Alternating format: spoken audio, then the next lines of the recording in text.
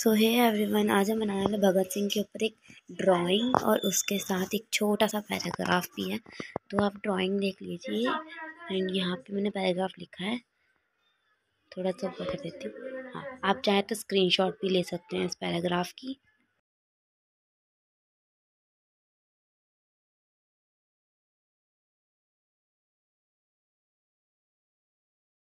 तो इस तरीके से दिखता है ये पूरा। आप चाहें तो इसका स्क्रीनशॉट ऐसे भी ले सकते हैं और ए फोर भी बना सकते हैं। मैंने ए थ्री यूज़ करी हुई है।